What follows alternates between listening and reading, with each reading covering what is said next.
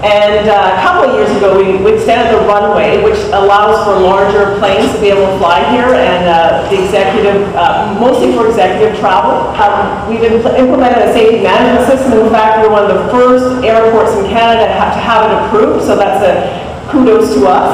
Um, We've really been focusing on our FBO in the last little while, and we've, uh, we've put- we've hired a new airport manager. Um, And and we've been doing a lot of marketing to try to put this airport on the map.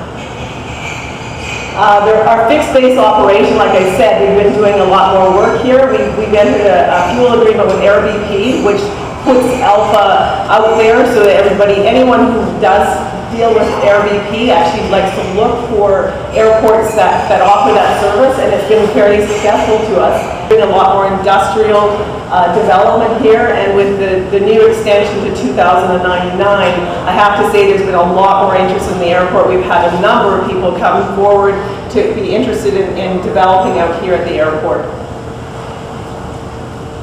Uh, we just have a few new hangar developments. Alpha Aviation is actually con- con- constructing a 30,000 square foot hangar.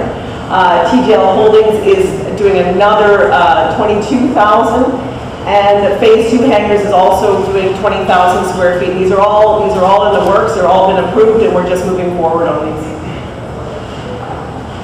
Uh, Again, as, as we mentioned, BC Fresh with the industrial development, uh, we, it's been a very successful uh, opportunity for us, and I think BC Fresh, now that they're all settled in, and we're continuing to, like I said, uh, um, promote the industrial development with the, with the new extension, and we are off, uh, looking at offers right now.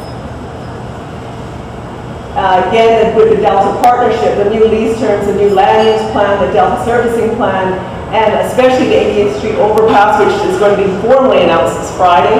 Uh, There's improved access, and uh, it's really putting the airport on the map.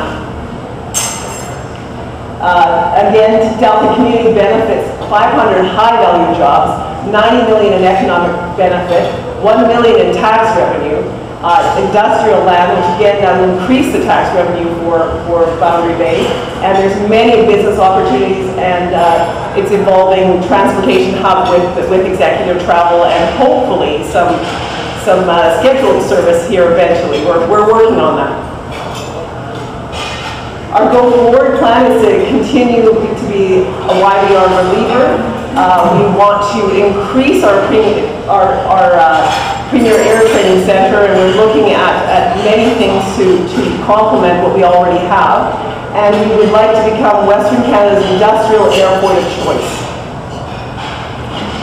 And thank you, uh, as I said, we're open for business. Industrial land is available, and the long-term leases to 2099 are currently available, and our FBO and airport services are top-notch, and I think we're being recognized for that.